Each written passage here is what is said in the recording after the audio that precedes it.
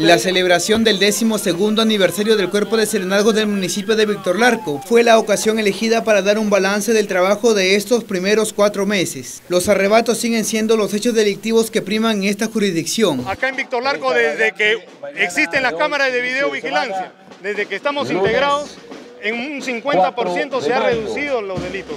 Y eso, y eso particularmente es parte de un trabajo de día a día. ¿Cuáles son los delitos más comunes que ustedes atienden? Los delitos más comunes en el distrito son los arrebatos al paso. El jefe de Seguridad Ciudadana de este distrito, Iván Soto, informó que en lo que va de 2015, los casos por violencia familiar han incrementado considerablemente. Se ha incrementado la violencia familiar a la mujer, ¿no? la violencia al niño, en un 15, 20%. En el año 2014 se ha superado, se ha superado casi, lo, hemos llegado casi a los mil delitos, pero de lo que va el 2015 las, estadísticas van a, nos dicen que a fin de año no vamos a llegar a un tema así. También se dio a conocer que en julio se estaría concretando la instalación de las 130 cámaras de seguridad ciudadana. Ya hay una carta de organización donde están ya ubicadas las diferentes cámaras. Normalmente en Buenos Aires Sur, liberación social y como, ¿por qué no decirlo también en California, Buenos Aires Norte?